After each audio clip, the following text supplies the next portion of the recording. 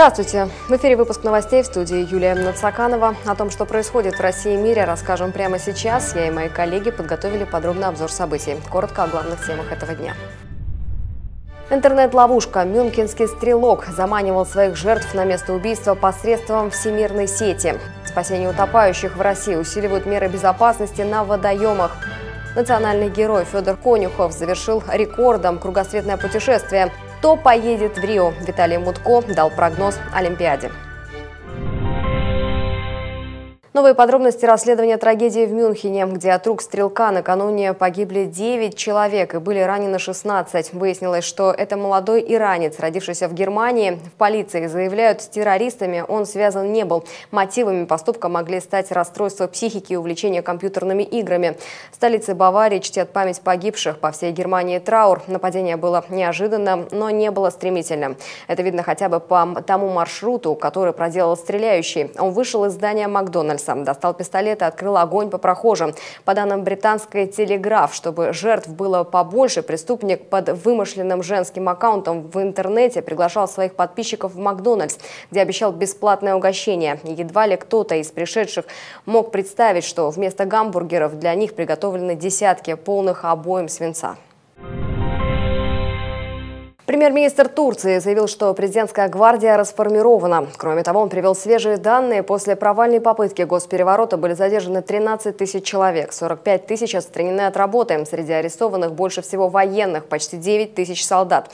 2 тысячи судей, а также полицейские и прокуроры. Властям удалось поймать и священнослужителя. Его называют правой рукой Гюлена. Предположительно, он прибыл в Турцию за два дня до путча. В связи с летней жаркой погодой на российских водоемах усилены меры безопасности. Спасатели изо дня в день дежурят на пляжах. Спасательным катерам обязаны жизнью десятки человек. Сотрудники МЧС напоминают людям известные с детства правила поведения на воде. Периметр вот этих э, наших э, акваторий, водохранилищ, это будет 2,5 МКАДа, где-то 250 километров. И на каждом километре люди хотят искупаться и э, лезут в воду в оборудованных и необорудованных местах, где только можно зайти в воду. Поэтому э, здесь э, нужно быть очень четким э, и отслеживать вот эту нашу обстановку. Ну а после ливня на реке в Якутии спасли 68 туристов. По данным представителя службы спасения Якутии Николая Фатеева, накануне они обратились в диспетчерскую службу эвакуации с просьбой оказать им помощь. По словам спасателей, часть катамаранов и снаряжений унесло водой из-за сильного подтопления территории. На помощь терпящей бедствия группе направили автомобили высокой проходимости группу спасателей. В данный момент все туристы были спасены. Ну и на этой неделе Федор Конюхов завершил свой кругосветный полет на воздушном шаре. Почти 35 тысяч километров он преодолел за 11 дней, побив таким образом мировое достижение другого прославленного любителя приключений Стива Фоссета. Путешествие вокруг света рекордсмен совершил за 11 дней. Возле Антарктиды, на моем град 55 градусов.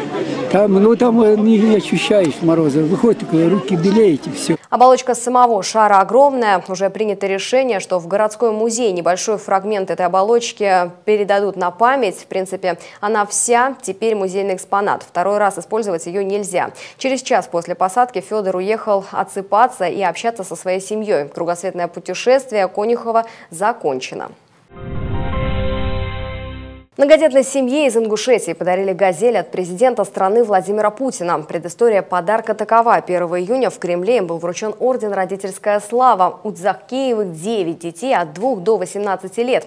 Там глава семейства обратился к президенту страны с просьбой помочь с приобретением автомобиля. Бывший полицейский, ушедший со, со службы по болезни, вот уже несколько лет не может устроиться на работу. Семья в основном живет на его пенсию по инвалидности в 17 тысяч рублей и детские пособия. В середине июня июля позвонили с кремлевской администрации и передали, что ему помогут. А уже через несколько дней представители Нижегородского автомобильного завода расспрашивали многодетного отца, каким бы он хотел видеть будущий подарок. Заводчане сделали автомобиль по спецзаказу.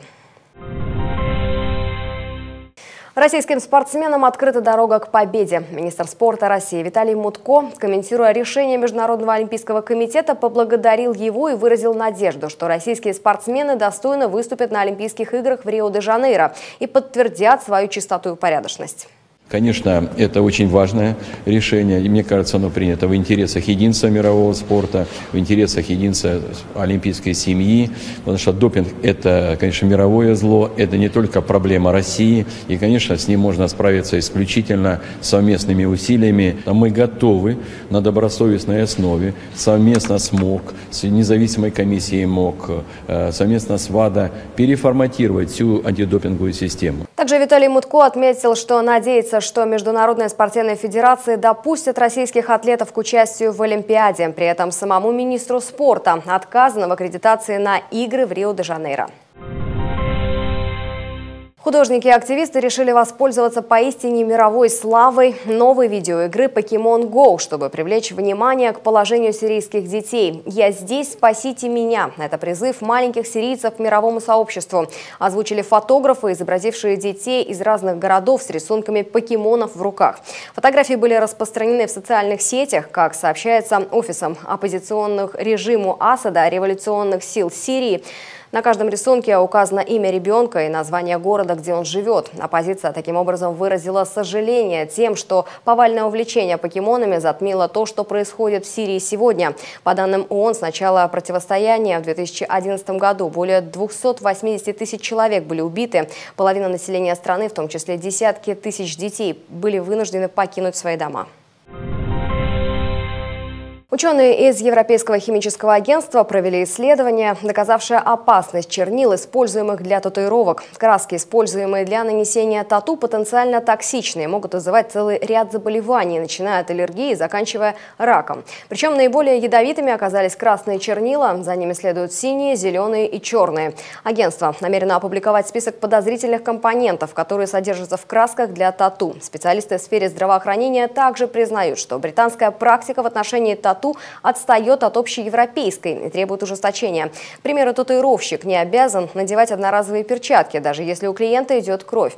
Также нет жесткого требования использовать в работе одноразовые инструменты, что увеличивает риск передачи инфекции от одного посетителя тату-салона другому. Это вся информация к этому часу. Новости доступны на сайте телеканала, а также на видеопортале YouTube. Увидимся в следующем выпуске. Оставайтесь с ТБН и никуда не переключайтесь.